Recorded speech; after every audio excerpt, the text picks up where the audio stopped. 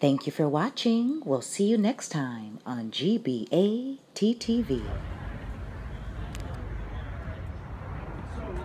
Mm -hmm.